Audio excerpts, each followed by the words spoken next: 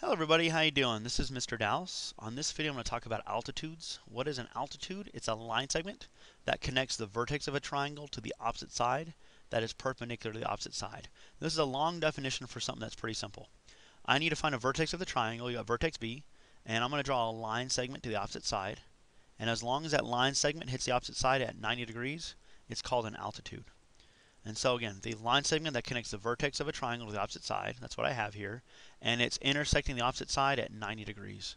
And so that's what perpendicular means, two lines that intersect at 90 degrees. And that's the gist of an altitude. It's really important that you understand that an altitude makes a 90 degree angle. And so uh, if we have three vertices and we've got three sides, uh, then we're going to have three altitudes. Uh, now this is going to be uh, mainly for acute triangles. Uh, and so every triangle has three altitudes, um, but for acute triangles, it's always going to intersect on the inside of the triangle. And so keep in mind, I'm mainly talking about acute triangles here. And so if I look, we have the, the altitude from the previous slide. Now I'm going to call the uh, the point opposite of B that makes uh, where where the line makes a 90 degree angle. I'm going to call this point D. So we've got an altitude of segment BD.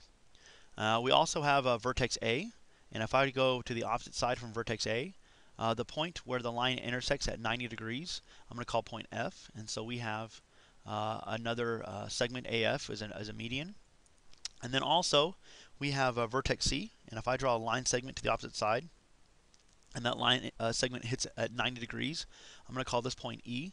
We have another uh, altitude called segment CE. And so all three of these uh, segments are, are altitudes. Sorry, I almost put the wrong word down. These are all altitudes. And again, since we have three vertices and we've got three sides in a triangle, then you're going to have three altitudes. Uh, now, there's a something important you need to remember. Again, all these line segments hit the opposite sides at 90 degrees. I just want to emphasize that because I'm about to do a couple example problems and you need to understand that this angle measure is 90 degrees wherever the, the line segment hits the opposite side. Uh, now there's something very special here as well. Notice how all these altitudes are intersecting at the same location. This is called an orthocenter. So orthocenter. Where all the altitudes intersect, it's called an orthocenter. Uh, and so you're always going to see uh, the orthocenters intersecting at the same location. Uh, and so I'm going to have a separate video on orthocenter if you want to watch that, but as of right now I'm going to do a couple example problems. So let's look at the first one. It says if uh, find x if segment BD is an altitude of triangle ABC. So we know this guy right here is an altitude. Uh, and we need to find x. x is, it's inside this little equation right here, 5x minus 10. Uh, what do we know about this angle? We know that this angle is also equal to 90 degrees. So this angle is equal to 5x minus 10. It's also equal to 90 degrees. So how in the world can I solve for x? Well, that's simple. We just set the two equations equal to each other, or the two values equal to each other. So we have 90 equals 5x minus 10. If I can get x by itself by adding 10 and I get 100 equals 5x, and then I need to divide by 5, and I get 20 is equal to x. And so right now we have 20 is equal to x, and I'm a big fan of double checking my work. And so what happens if I were to plug a, a 20 in here? Uh, 5 times 20 is 100, uh, and so we have 100 minus 10, and that gets us down to 90. And again, these are supposed to equal 90 degrees because that's what an altitude ends up having uh, a 90 degree angle. And so we're good here. So we know x is 20. Well, let me make this a little bit more challenging. Uh, we have a problem where um, we need to uh, find x and also the length of segment RS. Uh, if t is an altitude of triangle RST. So again, we know this guy here is an altitude. And so hmm, we need to find x. Uh, we're going to use the same trick we did in the previous slide, uh, but we also need to find the length all the way from R to S.